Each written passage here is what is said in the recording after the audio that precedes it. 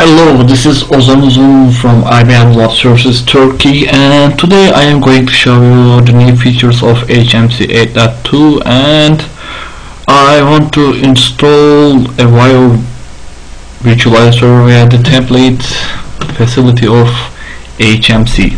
Let's have a look on the new HMC. You can see it's quite different than the old one let's check this out. This is the old look that everyone is used to.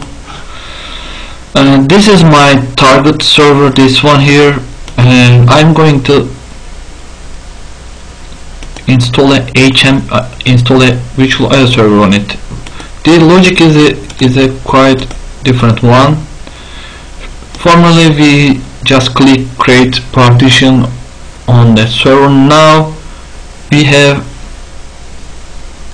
templates here. This is the one that I tried before because I did not know how to copy this quick start button because I did not figure out that you can click right on this one. So I was just clicking and searching for buttons all around. Now it's easy. I edited it this this uh, template for me for my purposes. This is a test system so I have some slow local disks and I have sadly fast Ethernet not gigabit so I need to pause it. Sometimes this video to make it not so boring so let's do this. You see I have some servers in my lab. This is the one that I'm going to use today. You can see there are some resources in here. This deploy PowerVM feature is a first setup thing so it will delete everything on that one because you see there is one VIOS here already because of my previous tests. You can deploy the AIX, Linux or IBM i partitions later but if you click this deploy PowerVM template thing then it will reset it. Yeah they are already deleted. So it's a first time setup. Which will simplify. If you are not used to the logic of virtual SCSI mapping, bio npRM stuff that that will take care of everything. It will create, I think, up, what is it doing? It deleted it, the HMC. Just wait. Maybe I should pause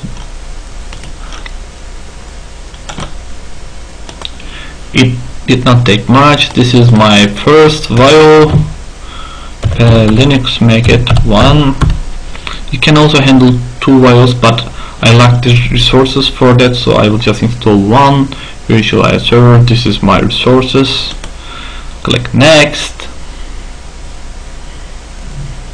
yes this is the important one because I will install it from NIM on Linux facility Nemon which is integrated in HMC I will need this Ethernet card. I have two SAS controllers.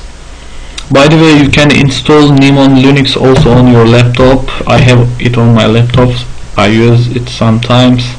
So then you click next so let's run. I think this step will create the virtual server or so-called LPAR logical partition. Mm, starting. Success. Really? Yeah fast. Okay on the next step but this is the steps you can see. Of virtual IO server installation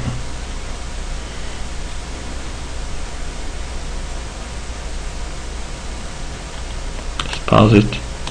Yeah I'm back again. Now I'm going to install virtual IS server. You can choose NIM server if you have one in your environment or like this one. I will just use my HMC to do it. This is the public IP that I need to use and I have one VIOS latest version I think. I have two ports the first is the upper one keep in mind I cabled that one. You see I have a IP address in my mind. Let me it's a C class. And it is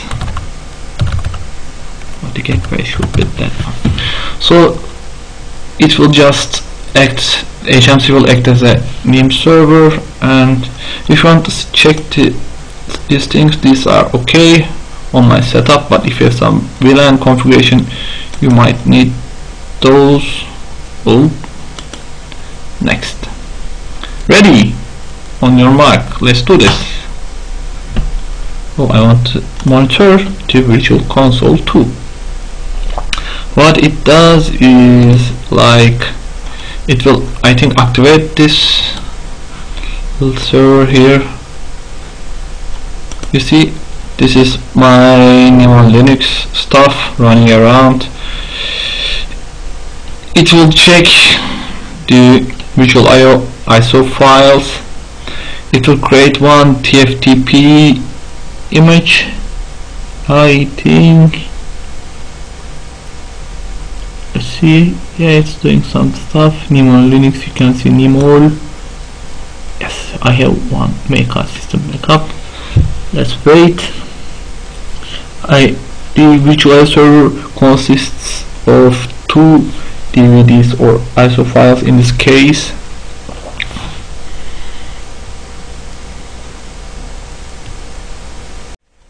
And now it is done. Let's accept license.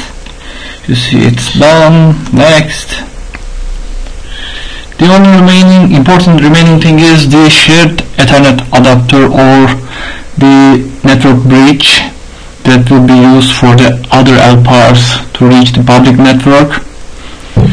Uh, this uh, template uh, process also has the ability to create a virtual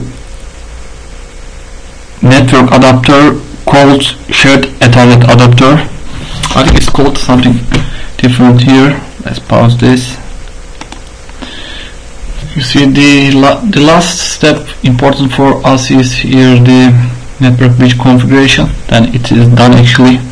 Virtual bridge or virtual bridge or shared ethernet adapter setup. Normally you can it it is good that you have a like link aggregation LACP or round robin thing. So you can select both of them and it will act like a link aggregation device so one of them if one of them will fail it will continue on the other one. But I have one cable here on the setup so I cannot use this now. One of the the other important thing actually here is if you had multiple virtual servers you can define in the template if you want to use load sharing or uh, failover already in the template without going into details in the terminal. Normally this this is like we go to terminal like type make a virtual device like this is the physical adapter that the other one is the uh, this is the physical adapter the other one is the uh, virtual adapter so bridge them like a layer 2 bridge so the LPARs can go out.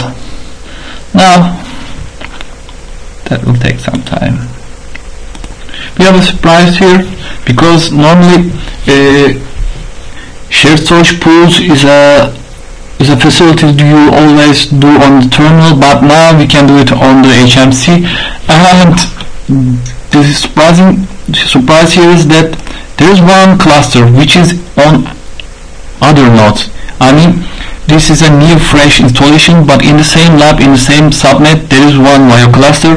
It already discovered it if you had the network connectivity and the disk assigned from storage you can directly add this node to cluster. This is really really cool. This is IO process. Okay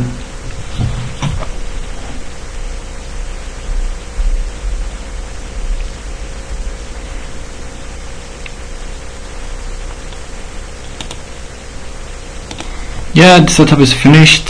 Uh, I think I, I lost the summary page on the video but it's not that important. Let's oh, oh. let's yes.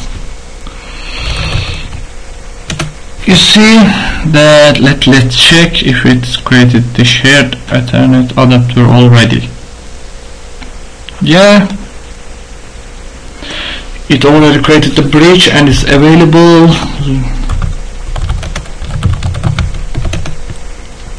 And it, it take the IP address also on top of that interface. So you saw on this video that you don't have to go to the server room and insert Azure disks kind of stuff. You just you can just start using your uh, power servers with the ease of HMC 8.2 thank you